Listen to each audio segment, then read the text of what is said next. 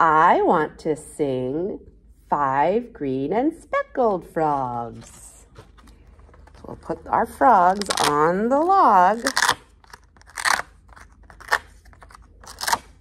Let's count. One, two, three, four, five. Five green and speckled frogs sat on a speckled log, eating some most delicious grub. Yum, yum. One jumped into the pool where it was nice and cool. Then there were four green speckled frogs. Ready? Let's count.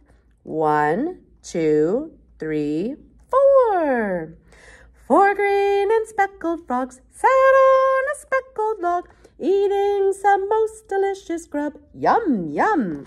One jumped into the pool where it was nice and cool. Then there were three green speckled frogs. Ready? Let's count. One, two, three. Three green and speckled frogs sat on a speckled log, eating some most delicious grub. Yum, yum. One jumped into the pool where it was nice and cool. Then there were two green speckled frogs. Ready? Let's count. One, two.